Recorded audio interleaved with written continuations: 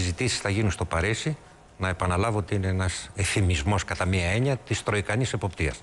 Έχει αποσαφινιστεί σε κάθε περίπτωση ότι στο Παρίσι θα γίνουν κάποιες προετοιμαστικές, οι ουσιαστικές συζητήσεις γίνονται στην Αθήνα. Σε κάθε περίπτωση η μετακίνηση των συνομιλιών, αν είναι συνομιλίες, γιατί δεν είναι συνομιλίες και δεν είναι και διαπραγματεύσεις, από την Αθήνα στη επιβολή των τροϊκανών απαιτήσεων. Θα πάω παρακάτω για να το πω. Και όχι μόνο επειδή το θέλουν οι άλλοι, αλλά επειδή το Πάντως, πιστεύει. Και Επειδή το η Νέα πιστεύει και Δημοκρατία η και το Πασόκ κυβέρνηση. σου λέει, εγώ θα πάω εκεί με δύο-τρεις στόχους. Ναι, ναι, ναι. Πα- Πάω στο δεύτερο σχόλιο τώρα το ουσιαστικό, ας πούμε.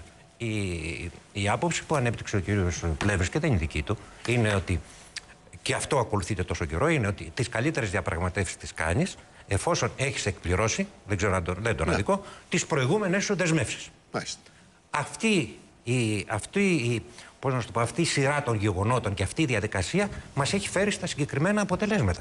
Τα οποία αποτελέσματα είναι πολύ απτά, είναι τραγικά, οξύνονται και με τον έμφυα με την αδυναμία μεγάλου μέρους του πληθυσμού να πληρώσει. Δηλαδή, μιλώ για την ανέργεια, μιλώ για την περικοπή του εισοδήματος, μιλώ, μιλώ, μιλώ. Ναι, αλλά πρέπει να ξέρουμε Τρι- όμως ταυτόχρονα και από τις δύο πλευρές, και από τις τρεις, από όλες τις πλευρές, σε πάση περιπτώσει, πρέπει να ξέρουμε πού είναι τα όρια που θέτει ο καθένας. Όπως αποδείχθηκε Τι κύριε- θεωρείτε πρέπει να φορολογείται. Όπως- Λέει ο κ. όπως πρέπει να πέσουν οι φόροι. Ναι. Να πέσουν πού, Όπως πώς αποδει- θα καλύψει τα λεφτά; Διότι το, από πού θα τα βρείτε τα λεφτά ισχύει για όλους τώρα. Ναι. Έτσι δεν έχει. Το τρίτο λοιπόν. που Όταν λέω, λες μείωση, από και- πού τα λεφτά; Και το φορολογικό και στη συγκεκριμένη περίπτωση ο έμφυα συνδέεται όπως αποδείχτηκε, όπως είπαν και οι- οι άλλοι συνομιλητέ ως προς αυτό και η ανάλυση, με τους δημοσιονομικούς στόχους που βάζεις. Δηλαδή, πώς φτιάχνεις το πλεόνασμα.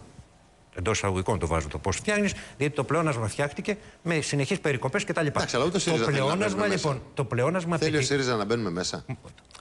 ε, να σας απαντήσω. Το πλεόνασμα το οποίο και είμαστε δεσμευμένοι για τεράστια πλεονάσματα τα οποία δεν επιτι- Είναι επιτυχάνονται άλλο. με αυτούς τους ρυθμούς ανάπτυξης σε κάθε περίπτωση, επιτυχάνονται με αύξηση ή περικοπές των κοινωνικών δαπάνων και αύξηση των εσόδων της φορολογίας. Πείτε μου ένα διαφορετικό τρόπο για να μην ε, πάμε και τρελαθούμε. Επομένως και ο έμφυα που δεν είναι ένα τεχνικό πρόβλημα, είναι ενταγμένος μέσα σε αυτές τις μνημονιακές πολιτικές. Θέλω να πω δηλαδή. Εσείς λέτε θα το καταργήσετε, αλλά δεν λέτε με τι θα Ναι, το ναι, ναι. Θα το αντικαταστήσετε. καταρρύ- όμως. Μα δεν πρόκειται, δεν πρόκειται να πεις είναι ένα μέτρο σωστό που πρέπει να το αντικαταστήσω με άλλο. Καταρχήν, είναι ένα μέτρο, μια διαδικασία που θέλει να εισπράξει άκοπα, γρήγορα.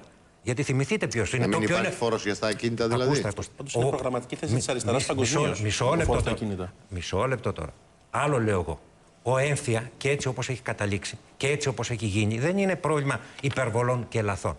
Ξεκίνησε καταρχήν να ενσωματώθει αυτό το παράνομο χαράτσι που μπήκε στους λογαριασμούς της ΔΕΗ. Ωραία. Και να, να ενσωματώθηκε φύγουμε από μέσα αυτό εκεί. τώρα. Να Λοιπόν, πάμε να δούμε αν πρέπει να έχουμε δεύτερο. φόρο στα ακίνητα. Είναι μια συζήτηση αν θα πρέπει να υπάρχει φόρος στα ακίνητα. Η δική μας η θέση, για να πούμε, είναι γενικά πρέπει να υπάρχει ένα δικαιότερο φορολογικό σύστημα που σημαίνει Γενικά, τον ναι. απλό. Στην απλοελληνική. Να φορολογείται ο πλούτος. Να φορολογούνται αυτοί που έχουν την δυνατότητα καταρχήν. Από εκεί και πέρα, όσο αφορά τα ακίνητα, υπάρχει η συζήτηση αν ακίνητα που δεν φέρουν πρόσοδο μπορεί να τα φορολογήσει. Λέμε όχι. Δεύτερο. Όσο, αν- είναι και αν, όσο και αν είναι αυτά τα κίνητα. Δεύτερο, ε, τώρα καθίστε τώρα. Δηλαδή Ναι. μπορεί να είναι μια οικία πέντε εκατομμυρίων ευρώ. Δεν Μιλάμε φέρνει λοιπόν, πρόσωπο. μιλάμε, με διευκολύνει ο κύριος Πλεύρης, μιλάμε λοιπόν για τη φορολογία μεγάλης Ακίνητες ακίνητης περιουσίας. Αλλά ξαναλέω, το πρόβλημα δεν είναι αριθμοί. Εδώ το πρόβλημα είναι πολιτικό. Η κατεύθυνση πώς να αντιμετωπίσεις την κρίση, πώς να αντιμετωπίσεις τα δημοσιονομικά προβλήματα. Και αυτό ήθελα να υπογραμμίσω. Επομένως, ο έμφυα, αυτή η λογική της φορολογίας, παρότι αντιβαίνει, θα συμφωνήσω εδώ, στην νεοφιλελεύθερη πολιτική, αλλά είναι καινούρια τα κόλπα, κύριε Πλεύρη. Είμαστε σε τούρμπο νεοφιλελευθερισμό. φιλελεύθερη, στη φιλελεύθερη πολιτική Στην αντιβαίνει. νεοφιλελεύθερη, λέω εγώ. λοιπόν, εγώ το λέω, εσείς δεν το παίρνετε πάνω. Και το τελευταίο.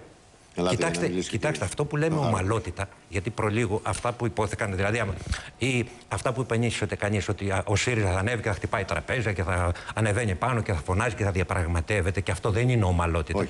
Ναι. το Κοιτάξτε κάνετε. την ομαλότητα τύπου Γαλλίας. Είναι ομαλότητα κάθε πέντε μήνες να αλλάζει η κυβέρνηση επειδή κάποιος τόλμησε να πει μια κουβέντα για την πολιτική της λιτότητας της κυρίας Μέρκελ, που δεν είναι αυτό και που είναι το γενικότερο πρόβλημα και τελειώνω. Κύριε Λιριτζή, αν δεν συνειδητοποιηθεί και έχει συνειδητοποιήσει σε μεγάλο μέρος, αλλά πρέπει να συνειδητοποιηθεί και πολιτικά και να καταλήξει αποτέλεσμα. Ότι με διαφορετικές πολιτικές θα αντιμετωπιστεί η κρίση.